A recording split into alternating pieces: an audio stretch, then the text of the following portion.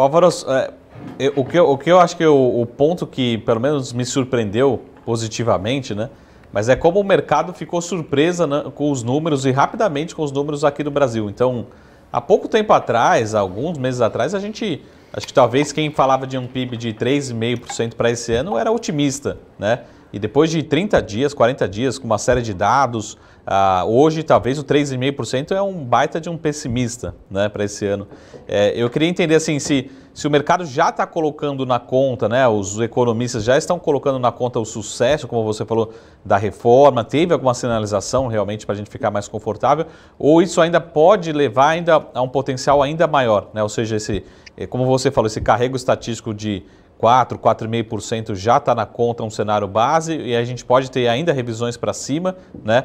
É, ou seja, o mercado já está colocando na conta o sucesso aí de algum cenário, um, um, um, cenário um pouco mais, ah, mais benigno, né? Vamos dizer assim, né? Já com implementação de uma reforma um pouco melhor, né? Veja só, Marcos, você está absolutamente certo. Quer dizer, alguns meses atrás a previsão de PIB 2021 rondava os 3%, um pouquinho abaixo, um pouquinho acima do, dos 3%, já com um carregamento é, bastante importante do último trimestre do ano. Uhum. Né? É, com o tempo, essas projeções foram mudando, nós, é, a partir da vacinação um pouco melhor, depois vem atraso, dá lá um certo, uma certa parada nas projeções, aí volta vacinar melhor, melhoram as previsões, mas é, passamos para um patamar de 4. E agora nós estamos falando de patamar de 5, com possibilidade até de ser maior. Se bem que, é, novamente, o segundo trimestre pode ficar ali levemente positivo, inferior, inclusive, à expansão do primeiro trimestre do ano. Né? Mas realmente vai depender da gente acionar reformas. É, alguma coisa a gente pode ter dito que começou a andar, reforma administrativa. É, o Paulo Guedes disse nessa semana que o presidente apoia, vamos ver até que ponto uhum. ele apoia. É, ele, governo, ele, ministério também apoia, mas tem, tem sempre aquela dúvida de que reforma que nós estamos falando. Né? É, estamos falando de uma reforma que é, são duas reformas que têm efeito muito mais de médio e longo prazo do que de curto prazo. No curto prazo, a gente precisaria acionar outros vetores, como concessões, como privatizações, para tentar equilibrar um pouco o lado fiscal do Brasil em 2021. Mas, fundamentalmente, que reforma nós estamos falando?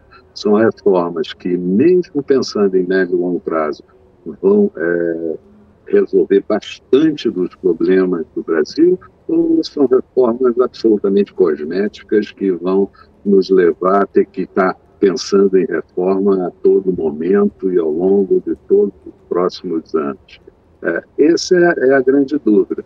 Pega só os entrantes, a reforma administrativa pega só os entrantes, não pega os, os antigos, mas os antigos vão se aposentar.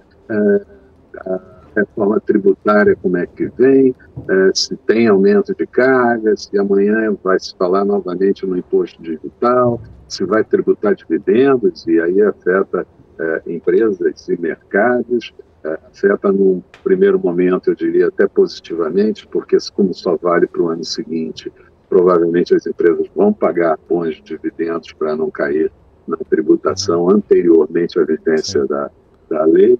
É, e, mas depois é, voltamos para uma tributação. E se essa tributação compensada no, na, na, menor alíquota das empresas vai surtir bons efeitos. Quer dizer, tem muita coisa em aberto, em, em aberto em termos de é, reformas que a gente vai precisar dimensionar na frente. Eu espero que não seja uma reforma fatiada, que é o que está começando a vingar, porque na reforma fatiada a gente perde o sentido do todo, quer dizer, o que, que vem depois e como vem depois, uh, e que seja uma reforma que vá realmente surtir efeitos de botar a economia nos trilhos.